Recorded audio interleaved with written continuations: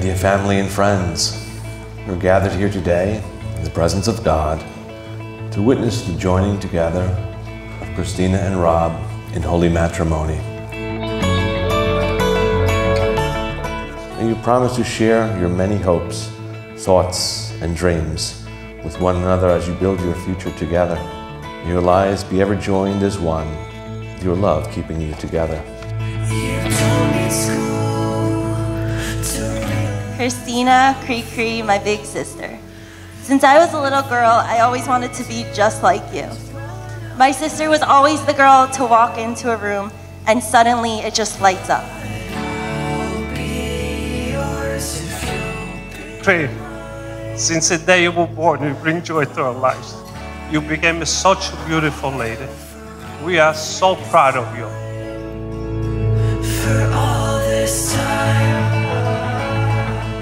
Rob is someone, as everyone in this room who has met him can attest, who so patently commits his all to every relationship in his life and is a genuine good friend to everyone he cares about.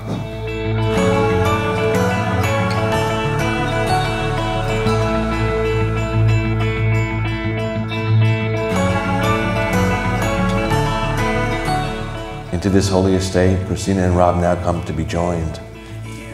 My dear family and friends, you have shared and contributed to their lives in the past, and by witnessing their marriage ceremony today, Christina and Rob invite you to share in their future.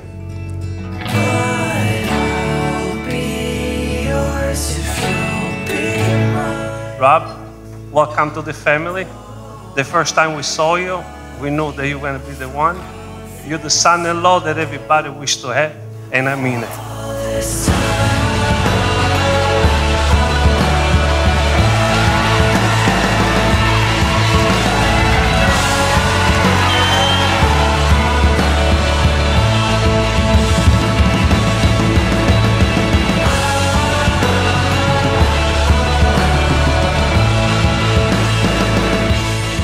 I want to conclude by wishing you both a life full of love because, as we all know, with love you have everything.